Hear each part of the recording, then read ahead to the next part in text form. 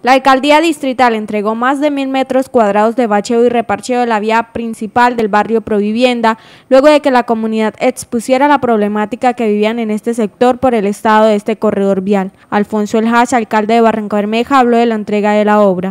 Estamos aquí en el punto conocido como el 1, haciendo la entrega de mil metros cuadrados de trabajo, de parcheo, de bacheo y todo lo que era necesario para que esta vía estuviera en óptimas condiciones.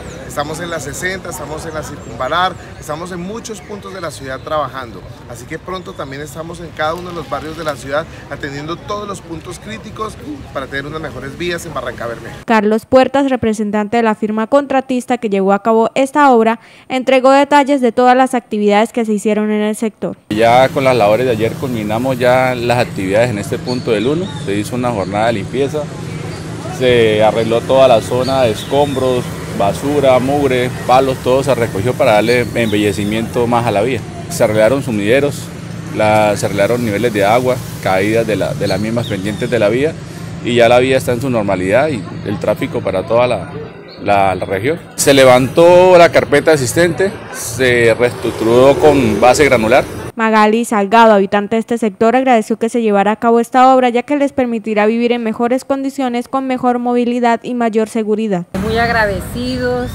eh, con todos porque pues todos han colocado un granito de arena ¿no? y muy agradecidos mm, por el cambio que nos han dado y súper, súper, está muy bonita.